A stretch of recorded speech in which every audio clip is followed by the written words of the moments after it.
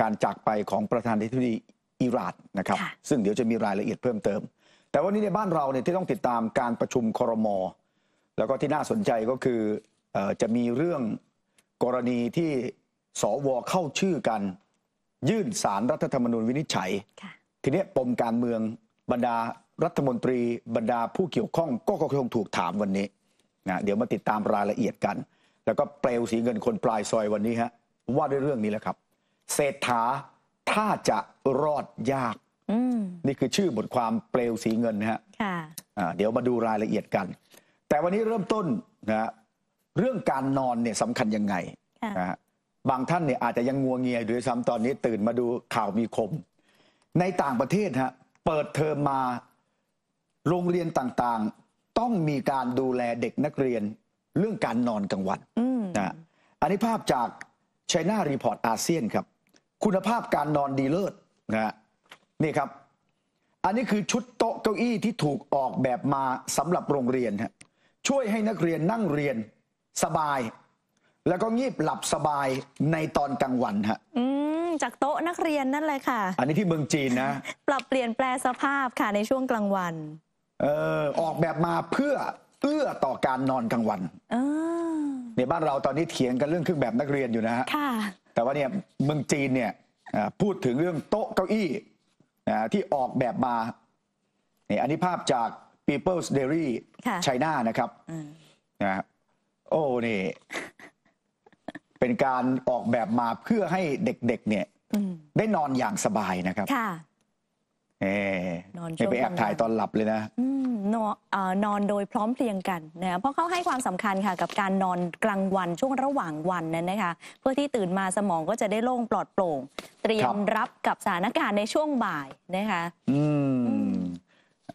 บ้านเราเนี่ยยังไม่เห็นมีนะ ที่จะออกแบบเก้าอี้มาเพื่อรองรับการนอนแบบนี้ เด็กประถมบ้านเราไม่มีนอนกลางวันนะคะอืมมีเฉพาะเด็กอนุบาลฮะค่ะส่วนที่เกาหลีใต้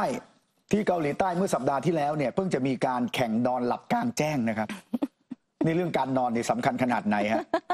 อันนี้สีสันริมแม่น้ำฮันฮะ ค่ะ นะฮะก็เป็นการสนับสนุนให้ประชาชนได้ผ่อนคลาย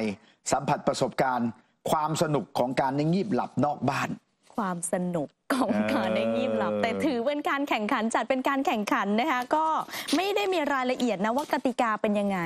ครับ ใครหลับยาวนานหรือว่าหลับลึกไหมเขาวัดคุณภาพการนอนขนาดไหนนะคะ เนี่ยโอ้โห เจ้าหน้าที่ก็จะแกล้งไปแย่ๆ ถ้าหลับลึกครับก็จะไม่รู้สึกตัว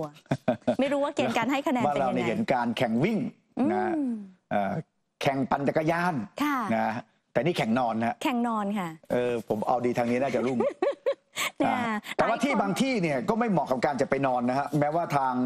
เอ่อเจ้าของสถานที่เนี่ยได้มีการออกประกาศเชื้อชวนนะฮะนี่คือภาพจากแฟนเพจ สถานีตำรวจภูธรนิคมพัฒนาครับ อันนี้ในบ้านเรานะครับ นี่แฟนเพจสถานีตำรวจภูธรนิคมพัฒนา ได้ลงภาพภาพนี้ แล้วก็ประกาศด่วนห้องว่างหลุดจองสภ.นิคมพัฒนา ตามสโลแกนให้การไม่ดีติดเยอะ ให้การเลอะเทอะติดเต็มสี่ห้องนอนสี่ห้องน้ำขนาด 56 ตารางเมตร วงเล็บไม่เล็กนะครับ ห้องสวยพื้นทาสีเขียวลงมัน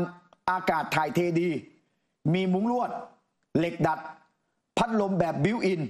มีความมั่นคงแข็งแรง มีเจ้าหน้าที่ดูแลความปลอดภัยตลอด 24 ชั่วโมง แต่งครบจบสไตล์แบบ vintage and minimal ข้างนอกกระทัดรัดแบบมินิมอลข้างในโอ่โถงอลังการแบบ luxury แล้วก็คอนเซปต์ย้ำให้การไม่ดีติดเยอะ ให้การเลอะเทอะติดเต็มครับ นี่จากโรงสถานี ตำรวจภูธรนิคมพัฒนา สนใจไหมฮะจะไปเช็คอินไหมนี่ไปมินอนติที่นี่ไหมใหม่เลยนะมิติใหม่นะนี่จริงจังนะคะแอดมินเฟี้ยวมากนะฮะอ๋อคือเขาก็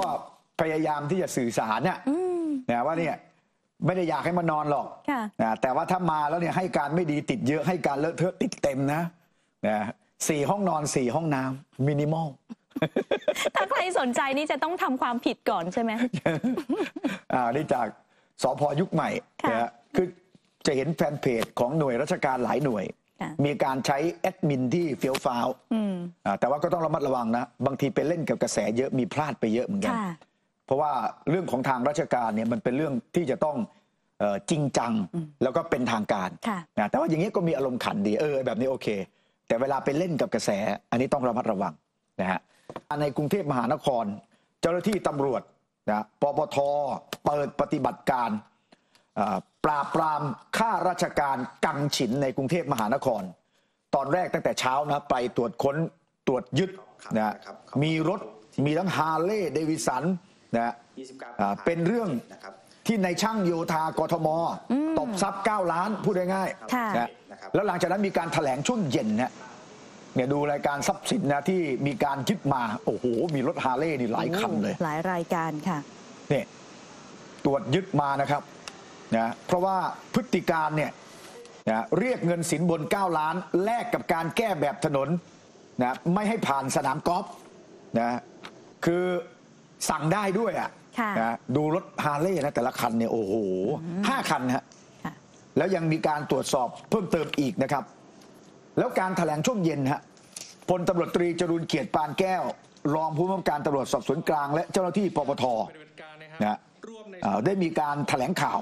ข่าวนะฮะพลมตรีจรนะฮะเกียรติปานแก้วเนี่ยฮะรองผู้บัญชาการแก๊งโยธาพลนะฮะพลตำรวจตรีประสงค์นะเฉลิมทลายแก๊งโยธาสด1%เปอร์เซ็นต์ปรามการทุจริตและประพฤนะฮะติมิชอบคือเรียกรับเงินรับทอง ลขาธิารเป็นแก๊ง1%อันนี้ชื่อชื่อฉายาฮะค่ะ สืบเนื่องมาตั้งแต่วันที่ 2 พฤษภาคมแล้วนะคะสำนักงานปปช ได้ส่งเรื่องกล่าวหานายพิมพ์พงศ์หิรัญยพฤกษ์นายช่างโยธาชำนาญงานสังกัดสำนักการโยธากรุงเทพมหานครพร้อมพวกรวม 4 รายค่ะ มีพฤติการร่วมกันแสดงตนเป็นเจ้าของพนักงานของรัฐ เรียกรับเงินจากผู้ประกอบการสนามกอล์ฟกว่า 9 ล้านบาท คืนให้พนักงานสอบสวนบกปปปเพื่อดำเนินการตามหน้าที่และอำนาจค่ะ เจ้าหน้าที่ตำรวจบกปปปก็ได้มีการทำการสอบสวนสืบสวน พบพยานหลักฐานว่ามีการแสวงหาประโยชน์ที่มิควรได้ทำให้ผู้ประกอบการสนามกอล์ฟเชื่อว่าที่ดินของผู้ประกอบการ จะถูกเวรคืนในโครงการของรัฐ และอ้างว่าตนเองมีตำแหน่งหรือรหน้าที่ที่สามารถขยับแนวเขตในการเวรคืนที่ดินของรัฐในโครงการต่าง ๆ ค่ะอ่าเดี๋ยวลองฟังเจ้าหน้าที่ ปปทนะครับพลตำรวจพันตำรวจโทสิริพงศ์ศรีตุลานะครับเรื่องนี้ต้องต้องบอกกันว่าช่วงปี 61 เนี่ยที่ท่านผู้กับเพิ่มพุทธได้ชี้แจงไปนะครับว่าเขาไปพูดคุยในเรื่องของแนวเขตนะครับแล้วก็มีการเรียกเงินถึงถึง 3 ช่วงเวลานะครับ ครั้งแรกเนี่ย5ล้านนะครับมีคุณมีคุณปองพลนะครับ แสดงตัวเข้ามารับเงิน ครั้งที่2เนี่ยเรียก 1.5 ล้าน มีคุณลินดาเข้ามารับเงิน และครั้งสุดท้ายมีคุณนรนุช2.5 ล้าน ท่านจะเห็นได้ว่ากระบวนการในการเรียกเงินของเขาไม่ใช่ครั้งเดียว ครั้งที่หนึ่งเขาเรียกในเรื่องของการปรับย้ายแนวเขต ต้องจ่าย 5 ทางสนามกอล์ฟก็ยอม ครั้งที่ 2 เรียกในเรื่องของการทำทางมาร่วมสนับสนุนท็อปนิวส์นำเสนอความจริงได้แล้ววันนี้ เพียงกดปุ่ม Super Thanks แล้วเลือกจำนวนเงินตามที่ต้องการได้เลยครับ ขอบคุณครับ